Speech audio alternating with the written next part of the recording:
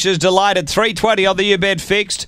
Away, Alicia's Delight step pretty well. Uh, there's pace from Total Shambles underneath. They go together early. Uh, behind those next, running really wide, was Crash Sandy back in the field. Uh, the leader, Total Shambles, gets away here from Alicia's Delight. Then Sophie Tyson, Sketchy Max from Crown Jester, Rocky 7. Uh, Hotham Latin, Crash Sandy off the back. Leader, Total Shambles. Three on Alicia's Delight. A length, Sophie Tyson. A halfback, Sketchy Max are on the turn.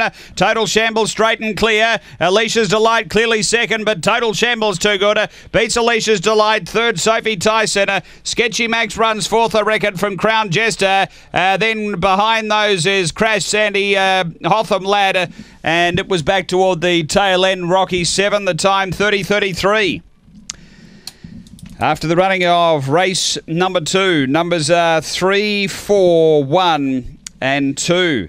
Number three, the winner. Total Shambles, Anthony Fry for A. Fry and R. Macaulay Fry, a black dog, June 2013. Oaks Road, Tanashi Bale, number three first. Uh, Total Shambles, second of four, Alicia's Delight for John Rees. A black bitch, January 2014. Lochinvar Marlow, Issey Miyake.